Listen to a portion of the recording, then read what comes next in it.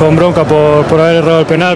Muchos aún se preguntan qué pasó entre Esielny, portero de Polonia, y Leo Messi antes de errar el penalti Leo. Pues fue difícil por, por, la situación, la necesidad. Y es que el propio Selny lo ha revelado y no vas a creer lo que pasó. A mí no me sorprende porque lo conozco. Así es chicos, Esielny reconoció que bromeó con una apuesta con Leo Messi sobre el penalti que hubo en el Argentina-Polonia de este miércoles del Mundial de Qatar y que finalmente perdió porque pensaba que el colegiado no lo decretaría. El árbitro neerlandés Danny McKelly no pitó la pena máxima inicialmente, pero fue avisado por el VAR para revisar la jugada.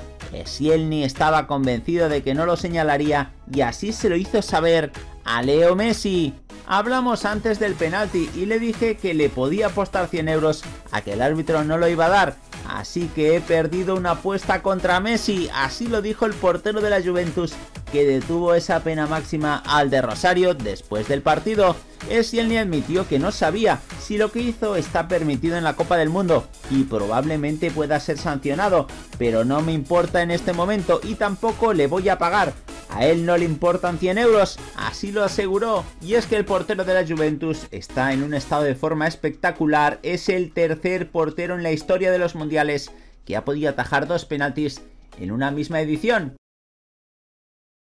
Vamos a hablar ahora de la nueva marca que va a batir Leo Messi en el próximo partido en octavos de final contra Australia. Y es que si no fuese importante ya el hecho de tratar de entrar entre los 8 mejores del mundial, Leo Messi alcanzará los 1000 partidos en su carrera deportiva no hay ceros de más, no hay partidos en la playa, ni se cuentan los de las selecciones juveniles, ni siquiera los Juegos Olímpicos, solamente sumando los que disputó con el Barcelona, el Paris Saint Germain y la selección argentina mayor, la pulga llegará a esa cifra impresionante que solo han logrado pocos en la historia, dependiendo de la rigurosidad de los datos se pueden encontrar no más de 20 o 25 jugadores que superaron los 1000 partidos en su carrera a lo largo de la historia.